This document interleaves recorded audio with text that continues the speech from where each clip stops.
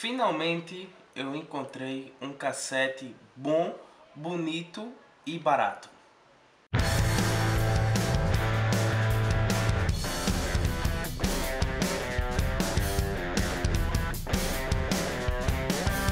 Fala pessoal, beleza? No vídeo de hoje eu quero mostrar a vocês um cassete que eu adquiri aí do exterior e é um cassete para 9 velocidades, é um cassete aí para quem usa o sistema de 9 velocidades, vale muito a pena. Vale a pena pela qualidade e pelo preço. O cassete, como eu já disse, é um cassete de 9 velocidades, é esse aqui, ó. É um cassete 1140, ou seja, já vem com o Super Cog instalado, né? As outras peças dele, o Cog de, de, de 13 e o de 11 e a tampinha vem nesse pacote aqui separado, né? Deixa eu pegar aqui. E esse cassete, ele é um cassete da marca ZTTO. É uma marca asiática né? Porém, apesar de ser uma marca asiática, esse cassete aqui me impressionou bastante. Ele é um cassete todo de aço, né? E por ele ser um cassete todo de aço, ele é muito, mas muito leve.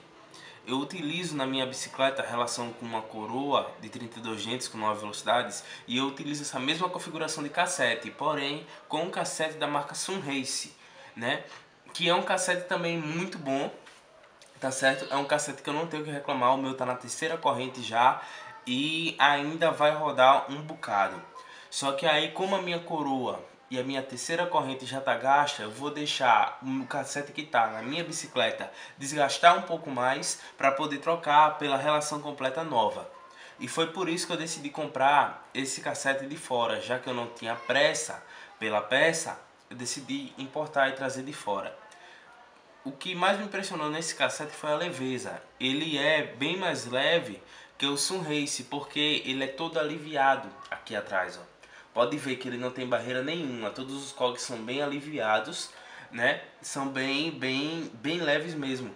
Todos eles são, repletos de furos para escoar melhor a sujeira e também para aliviar peso. E o acabamento dele me impressionou.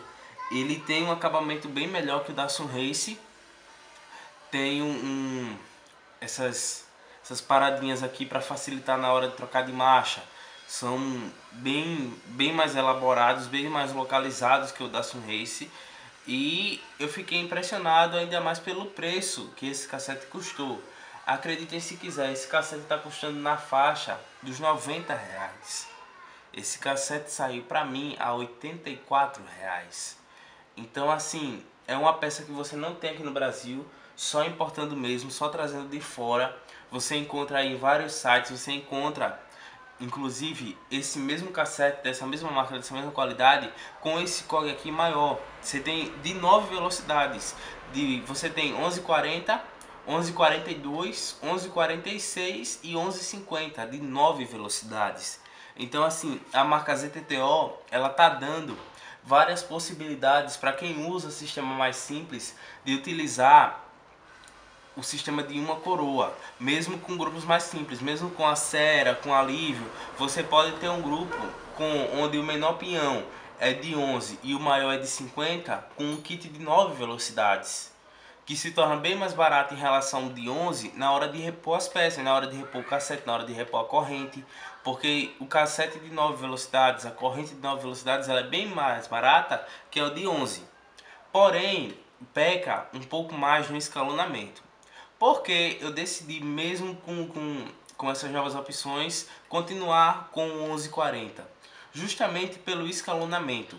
Se você parte para cassetes 1142, 1146, 1150 com 9 velocidades, você vai ter pulos muito grandes entre cada cog. Você vai ter uma variação muito grande de dentes entre cada cog. Então, na prática, na hora de você utilizar a bicicleta, você, um exemplo, você está subindo uma ladeira, você está na marcha leve, mas você precisa de uma marcha um pouco mais pesada. Cara, quando você descer uma marcha, vai ficar muito pesada.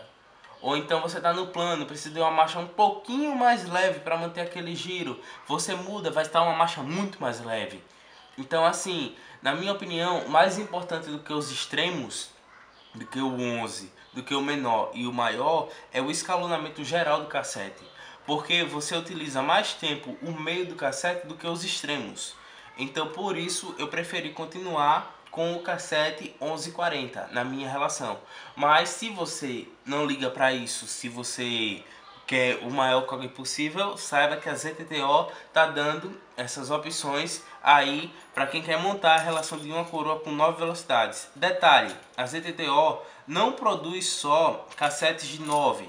A ZTTO produz cassetes de todas as velocidades entendeu? Então você tem 10 velocidades com 11,50, você tem 11 velocidades, um cassete de 11 velocidades, 11,50, pesando exatamente 357 gramas, também da ZTTO, feito em um alumínio especial de aviação.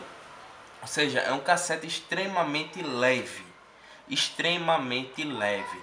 E não tem preços absurdos, como eu disse, eu paguei 86 reais nesse cassete aqui. Aqui no Brasil, um Surrace, aqui em Alagoas, o Surrace para mim ia estar tá saindo em torno aí de 170 reais.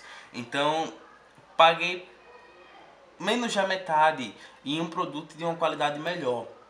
Vou foi quando meu Surrace gastar, eu vou colocar esse aqui na minha bicicleta, já com, com a corrente nova, eu tô com corrente, tô com coroa tudo novo aqui em casa, com a corrente KMC e vou fazer um teste de durabilidade e ver quantas correntes esse cara aguenta.